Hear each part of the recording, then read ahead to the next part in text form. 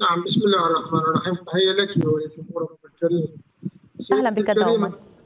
هنالك حقيقة ازدواجية بالتعامل الأمريكي.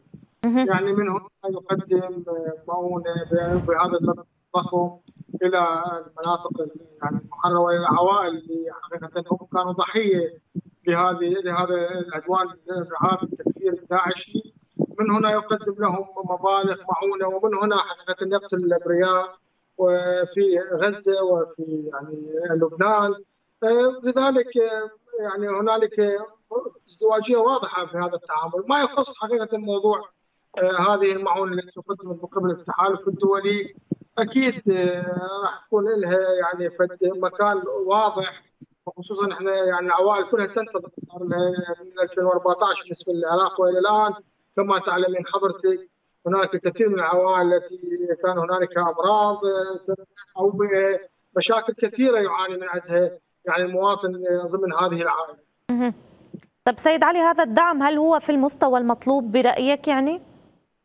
يعني حقيقة إحنا لا ننتظر الدعم من قبل أمريكا ومن قبل التعاون الدولي، كان على قياداتنا يعني في العراق أو في سوريا أن تكون هي من تقدم الدعم باعتبار أن العائلة العراقية والعائله السورية لها تماس مباشر والدولة أو الحكومة هي من تكون مسؤولة عليها بالدرجة الأولى. لا ننتظر التحالف الدولي أو لا ننتظر معونات من هنا وهناك من خارج الحكومتين العراقية والسورية. لكن بما أن الموضوع أتى فلا بأس به لأنه سيكون يعني مصدر إيجابي مهم بالنسبة للعوائل التي يعني هي في المخيمات خصوصا في العراق مخيمات في توك وفي اربيل. طيب أيضا بيان التحالف الدولي أكد على أهمية إيجاد حلول دائمة للسكان المدنيين في شمال شرق سوريا وبما في ذلك محاسبة أو تقديم عناصر التنظيم الإرهابي المحتجزين هناك إلى العدالة. هذا البند أيضا كيف يمكن قراءته سيد علي؟ وفي ضمن ما يحصل للمنطقة والظروف والمعطيات الحالية هل يمكن إيجاد حلول دائمة لهذه للسكان المدنيين في شمال شرق سوريا؟ نعم سيدتي الكريمة أتي من سؤالك وأجيبك حقيقة. الموضوع أنه محاكمة الإرهابيين، الإرهابيين ما زالوا هنالك إرهابيين يعني مرطخ يدهم بالدماء الأبرياء منذ 2014 وإلى الآن لم تصدر أحكام كلما تريد الدولة العراقيه أن تصدر أحكام يأتيها توجيهات تأثيرات من قبل أمريكا ومن قبل الدول المحيطه بالعراق تثنيها عن التوقيع على الإعدام. وهذه الازدواجيه التي تتكلم عليها من قبل الجانب الأمريكي.